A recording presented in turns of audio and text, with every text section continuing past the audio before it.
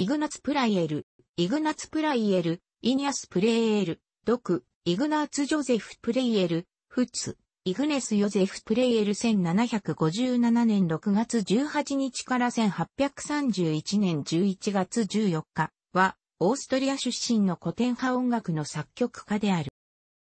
プライエルは、ニーダー・エースターライヒ州のトゥルン近郊、ルッパースタールで、マルティン・プライル、マーチン・プリルという名の教師の息子として生まれた。若い頃彼はおそらくヴァンハルと共に学び、1772年からアイゼンシュタットのヨーゼフ・ハイドンの生徒になった。プライエルは彼の13年後に生まれたベートーベンと同様に、彼の研鑽において、貴族階級の後援、この場合は、エルデーディ・ラースロー伯、1746年から1786年から恩恵を受けた。プライエルは明らかに彼を優れた生徒だと考えていたハイドンと良い関係あった。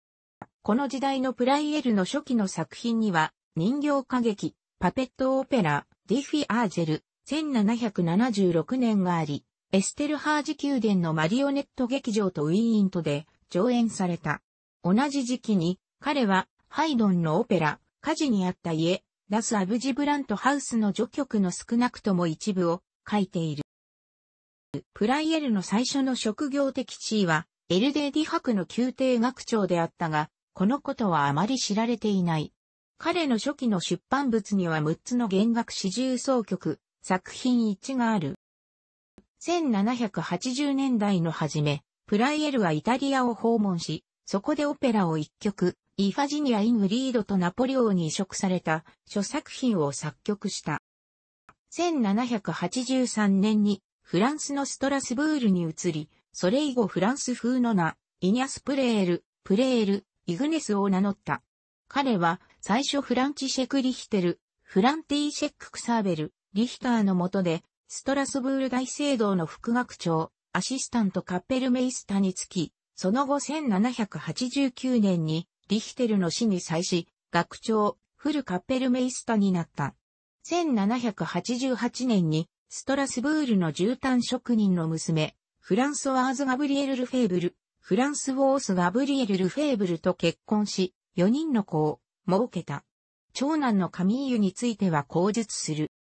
1791年にフランス革命によって教会での講演が公の演奏会と同様に廃止された。代わりの職を探すためにプレールはロンドンに渡り、そこでビルヘルム・クラマー、ウィルヘルム・クレイマーが組織するプロフェッショナルコンサート、 Professional Concerts を率いた。この立場にあって同じ時期にハイドンがヨハン・ペーター・ザロモンの組織する演奏会シリーズを率いていたので、プレーエールは不注意にも彼の死の敵の役割を演じることになった。二人の作曲者は職業上敵対していたが、彼らは個人的には良い関係のままであった。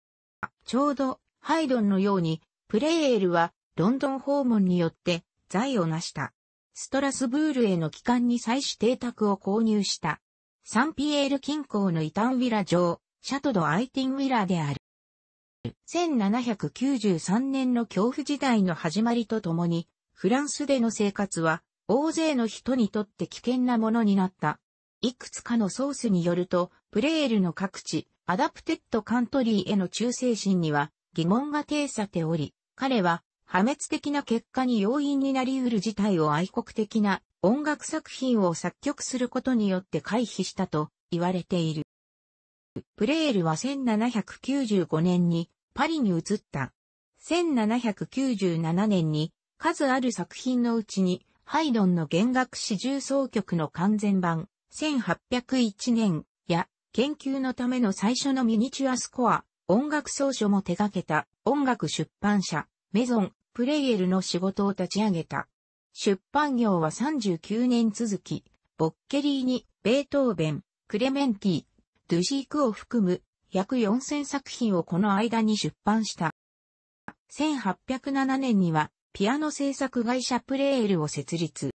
1824年に優退し、パリから約 50km の郊外に移った。自分の音楽様式が新しいロマン派音楽に完全にとって変わられていることに明らかに気づいていた。1831年に他界し、ペール・ラシェーズ墓地に葬られた。プレーエルは、その時代には、非常に有名だがやがて知られなくなる、ケルビーニ、マイヤ・ベーア、タールベルクを含む作曲家という現象の一例である。何人かの人々によると、ヨゼフ・ハイドンの最盛期とベートーベンの名声の上り坂との間の短い期間、プレーエルはヨーロッパにおいて最も有名な作曲家だった。彼の名声は当時の音楽的な辺境であるアメリカ合衆国にまでも及んだ。マサチューセッツ州の沖合のナンタケット島にプレーエル協会があり、プレーエルの旋律は当時盛んだったシェープノート、 shape note 賛美歌集でも発展を見た。プレールは実際、現代の shape note 賛美歌集、 The Sacred Harp に現れる唯一のクラシックの作曲家である。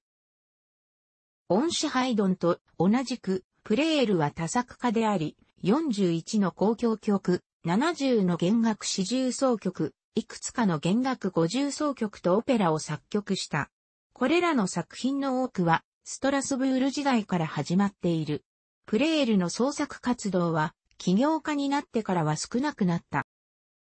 20世紀の音楽学の成果により、ブラームスのハイドンの主題による変奏曲、作品56の主題の真の原作者は、ハイドンでないことが明らかにされたが、実際は誰なのかが長いこと不明のままだった。だが、最近の研究では、それがプレールである可能性が推測されている。プレールは、今日では、教則本の練習曲の作曲家として知られている。例えば、バイオリンやフルートの初心者は、プレールが作曲した多数の二重奏曲を教材とすることがある。プレールのドイツ名イグナーツ・ジョゼフ・プレイエルは、イグナーツ・ヨーゼフ・プライエルとするのが一般的な表記である。フランスに渡ってからは、フランス名イグネス・ジョセフ・ファローエルに改名したが、こちらは、イニャス・ジョゼフ・プレールとなる。日本語や英語はフランス語の発音に準じている。楽しくご覧になりましたら、購読と良いです。クリックしてください。